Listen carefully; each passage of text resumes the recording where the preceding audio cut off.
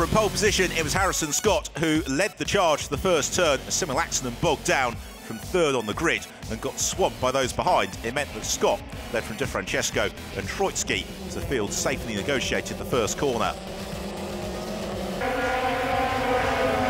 Plenty of frantic battling on the first lap of the race as everybody was looking to gain ground on the circuit, which can be very challenging to overtake on. Unfortunately for Tiago Vivacqua and Lodovico Laurini, they tangled, brought out the safety car as both cars were stuck in the gravel trap.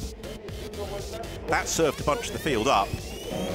Once we got going, there were some great fights throughout the field, not least battle between Ben Hingeley and Simo Laaksonen that lasted for several laps. Eventually, Laaksonen able to pick his way past Hingeley with a beautiful move into the hairpin down the back straight.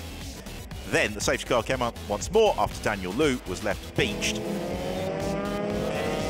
Late on, Hingeley had to defend charging Eliseo Martinez. At the front of the field, Harrison Scott stretched the field and was able to secure his 11th victory of the season.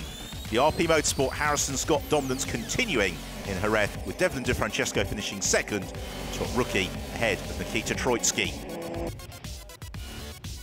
Celebration once more for Harrison Scott.